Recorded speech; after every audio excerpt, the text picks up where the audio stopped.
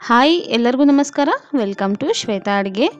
ನಾನಿವತ್ತು ಒಂದು ಆಂಧ್ರ ಸ್ಟೈಲಲ್ಲಿ ಸ್ಪೆಷಲ್ಲಾಗಿ ಟೊಮೆಟೊ ಗೊಜ್ಜು ಮಾಡೋದನ್ನು ತೋರಿಸ್ಕೊಡ್ತಾ ಇದ್ದೀನಿ. ಇದು ಅನ್ನದ ಜೊತೆಗೆ ರೊಟ್ಟಿ, ಚಪಾತಿ, ಪೂರಿ ಎಲ್ಲದಕ್ಕೂ ಸೂಪರಾಗಿರುತ್ತೆ ಬನ್ನಿ, ಹಾಗಾದರೆ ತಡ ಮಾಡೋದು ಬೇರೆ ರೆಸಿಪಿನ ಸ್ಟಾರ್ಟ್ ಮಾಡೋಣ. ಅದಕ್ಕಿಂತ ಮುಂಚೆ, ಇನ್ನೂ ಯಾರಾದರೂ ನಮ್ಮ ಚಾನಲ್ನ ಸಬ್ಸ್ಕ್ರೈಬ್ ಮಾಡ್ಕೊಂಡಿರೋ ದಯವಿಟ್ಟು ಸಬ್ಸ್ಕ್ರೈಬ್ ಮಾಡ್ಕೊಳ್ಳಿ ಹಾಗೆ ಪಕ್ಕದಲ್ಲಿ ಬೆಲ್ ಬಟನಲ್ಲಿ ಕ್ಲಿಕ್ ಮಾಡಿದ್ರೆ ನಾವು ಮಾಡ್ತಾ ಇರೋ ಹೊಸ ಹೊಸ ಅಡುಗೆ ನೋಟಿಫಿಕೇಷನ್ ನಿಮಗೆ ಬರುತ್ತೆ. ಈಗ ಒಂದು ಪಾತ್ರೆ ಬಿಸಿಗಿಟ್ಟಿದ್ದೀನಿ. ಇದಕ್ಕೆ ಒಂದು ಎರಡರಿಂದ ಮೂರು ಟೇಬಲ್ ಸ್ಪೂನಷ್ಟು ಎಣ್ಣೆ ಹಾಕ್ಕೊಡ್ತಾ ಇದ್ದೀನಿ.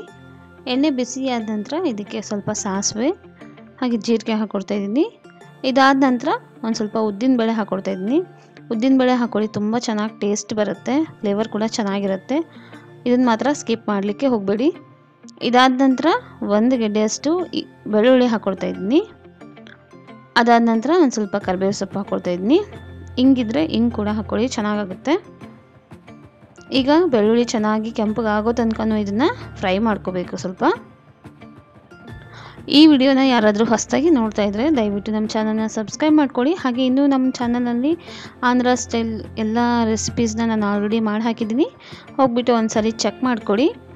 ನೋಡಿ ಇವಾಗ ಚೆನ್ನಾಗಿ ಫ್ರೈ ಮಾಡ್ಕೊಂಡಿದ್ದೀನಿ. ಇನ್ನೂ ಒಂದು ಚೂರು ಕೆಂಪು ಆಗಬೇಕಿದು ನೆಕ್ಸ್ಟ್ ಇಲ್ಲಿ ನಾನು ಟೊಮೆಟೊನ ಒಂದು ನಾಲ್ಕರಿಂದ ಐದು ದೊಡ್ಡ ಸೈಜ್ದು ಆಗಿರೋ ಟೊಮೆಟೊ ತೊಗೊಳ್ಳಿ ಚೆನ್ನಾಗಿರುತ್ತೆ. ಸೊ ಕೆಂಪಾಗಿರಬೇಕು. ಸೊ ನಾಲ್ಕರಿಂದ ಒಂದು ಐದು ಸಣ್ಣ ಸಣ್ಣದಾಗಿ ನಾನು ಹೆಚ್ಚಿಟ್ಕೊಂಡಿದ್ದೀನಿ ಟೊಮೆಟೊನ. ಚೆನ್ನಾಗಿ ತೊಳೆದ್ಬಿಟ್ಟು. ಸ್ವಲ್ಪ ಹಣ್ಣಾಗಿರೋದಿದ್ರೆ ಚೆನ್ನಾಗಿ ಬರುತ್ತೆ, ಟೇಸ್ಟು, ಕಲರ್ ಕೂಡ ಚೆನ್ನಾಗಿರುತ್ತೆ. ಇದಿಷ್ಟು ಚೆನ್ನಾಗಿ ಆಯಿಲಲ್ಲೇ ಫ್ರೈ ಆಗಬೇಕು. ಸೊ ಈಗ ನಾವು ಚೆನ್ನಾಗಿ ಇದನ್ನು ಫ್ರೈ ಮಾಡ್ಕೋಬೇಕು. ಇದೊಂದು ಸ್ವಲ್ಪ ಟೈಮ್ ಹಿಡಿಯುತ್ತೆ. ಅಲ್ಲಿವರೆಗೂ ಚೆನ್ನಾಗಿ ಫ್ರೈ ಮಾಡಿಕೊಡಿ. ಸೊ ಈಗ ನಾನು ಒಂದು ಲೀಡ್ನ ಮುಚ್ಚಿಬಿಟ್ಟು ಒಂದು ಐದು ನಿಮಿಷಗಳ ಕಾಲ ಇದನ್ನು ಚೆನ್ನಾಗಿ ಬೇಯಿಸ್ಕೊಳ್ತಾ ಇದ್ದೀನಿ. ಇದೊಂದು ಸ್ವಲ್ಪ ಮೆತ್ತಗಾಗಬೇಕು. ಅಲ್ಲಿವರೆಗೂ ಚೆನ್ನಾಗಿ ಬೇಯಿಸ್ಕೊಳ್ಳೋಣ. ಇವಾಗ ನೋಡಿ ಆಗಿದೆ.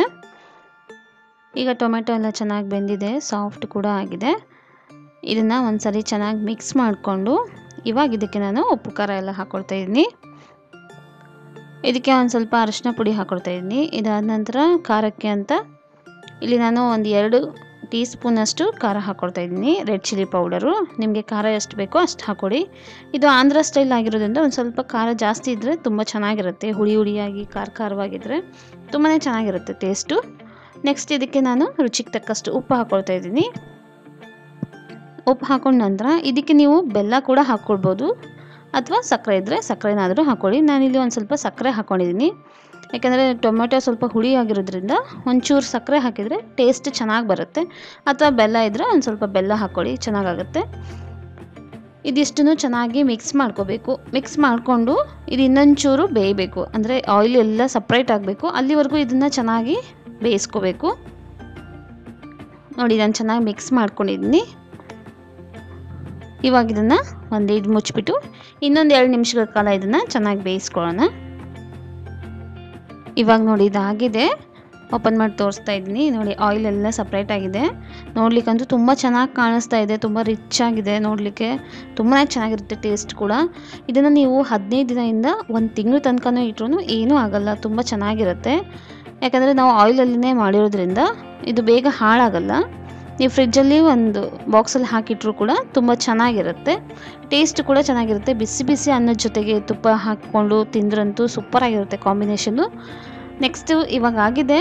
ಇದಕ್ಕೆ ನಾನು ಗ್ಯಾಸ್ ಆಫ್ ಮಾಡಿಕೊಂಡು ಒಂದು ಸ್ವಲ್ಪ ಕೊತ್ತಂಬರಿ ಸೊಪ್ಪು ಹಾಕ್ಕೊಡ್ತಾ ಇದ್ದೀನಿ ಲಾಸ್ಟಿಗೆ ಕೊತ್ತಂಬರಿ ಸೊಪ್ಪು ಹಾಕ್ಕೊಂಡು ಚೆನ್ನಾಗಿ ಒಂದು ಸಾರಿ ಮಿಕ್ಸ್ ಮಾಡಿಕೊಂಡ್ರೆ ಟೊಮೆಟೊ ಗೊಜ್ಜು ರೆಡಿ ಆಯಿತು. ನೋಡಿದ್ರಲ್ಲ ತುಂಬಾ ಸುಲಭ ಮಾಡೋದು. ಇದಕ್ಕೆ ಯಾವುದೇ ರೀತಿ ಮಸಾಲ ಬೇಡ, ಇಷ್ಟೇ ಇದ್ದರೆ ಸಾಕಾಗುತ್ತೆ. ಬಿಸಿ ಬಿಸಿ ಅನ್ನದ ಜೊತೆಗಂತೂ ಸೂಪರಾಗಿರುತ್ತೆ ಖಂಡಿತವಾಗ್ಲೂ ನೀವು ಮನೇಲಿ ಒಂದ್ಸರಿ ಟ್ರೈ ಮಾಡಿ ನೋಡಿ ಹೇಗಾಗಿತ್ತು ಅಂತ ನಂಗೆ ಕಮೆಂಟ್ ಸೆಕ್ಷನಲ್ಲಿ ಕಮೆಂಟ್ ಮಾಡಿ. ಹಾಗೆ ಇನ್ನೂ ಯಾರಾದರೂ ನಮ್ಮ ಚಾನಲ್ನ ಸಬ್ಸ್ಕ್ರೈಬ್ ಮಾಡ್ಕೊಂಡ್ಲೆ ದಯವಿಟ್ಟು ಸಬ್ಸ್ಕ್ರೈಬ್ ಮಾಡ್ಕೊಡಿ.